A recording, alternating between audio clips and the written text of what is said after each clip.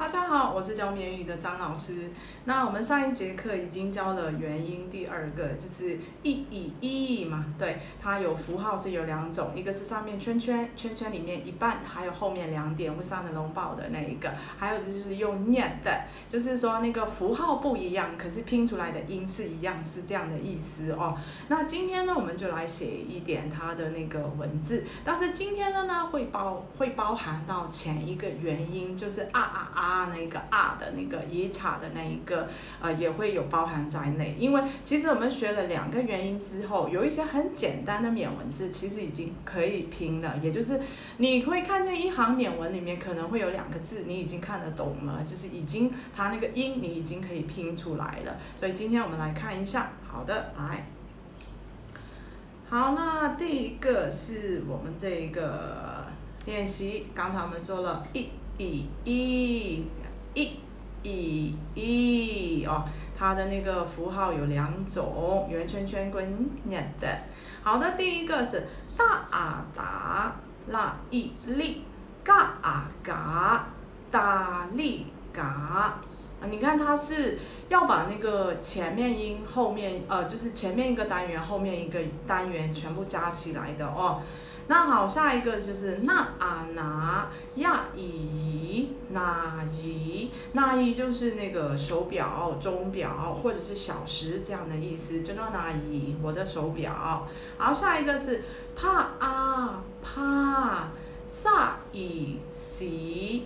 帕西，帕西是我们那个一种缅甸一些乡下用的一种鼓，就是打的那个鼓，那个叫帕西。当然，它可能是某些地区才会用的，所以它是一个比较少的某些民族。下一个是大，嘛伊咪大啊大。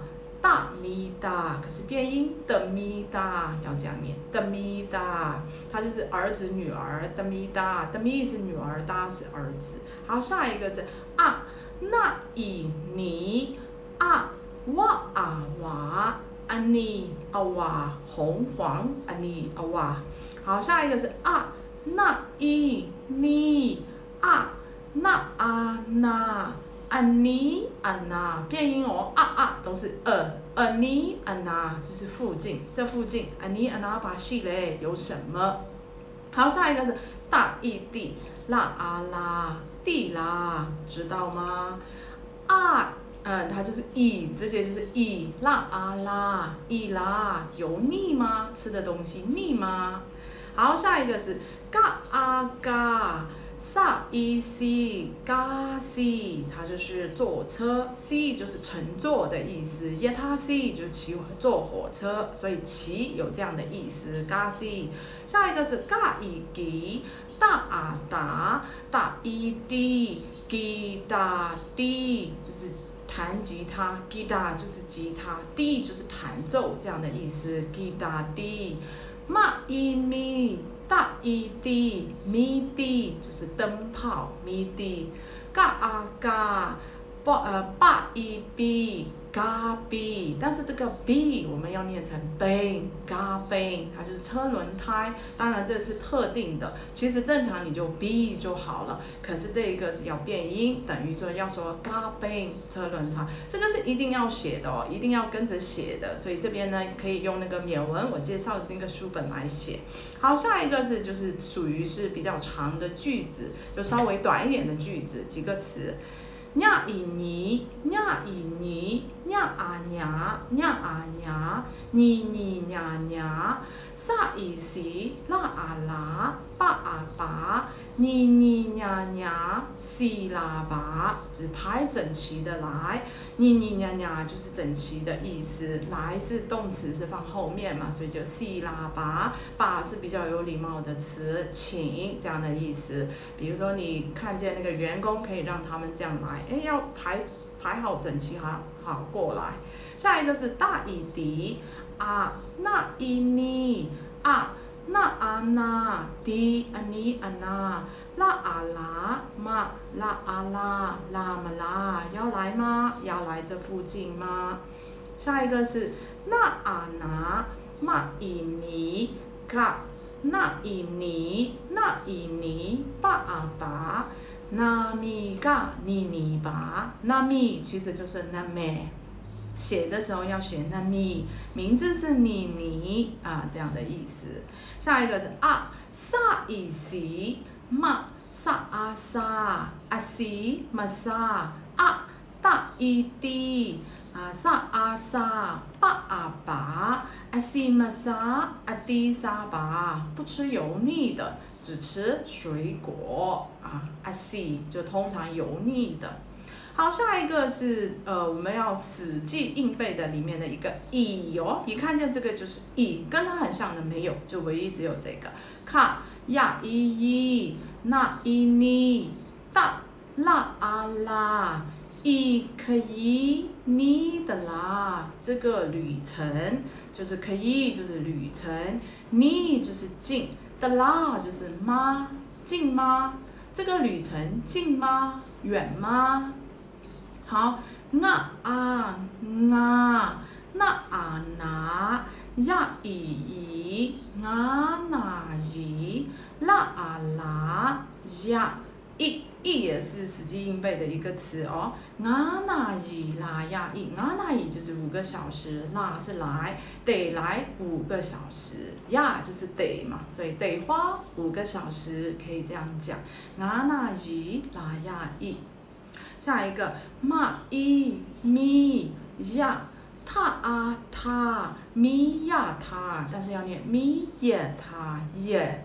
好，萨伊西啦啊啦巴啊巴西啦巴，就是咪耶他西就是坐火车，西就是坐的意思嘛。来，喇叭啊啦。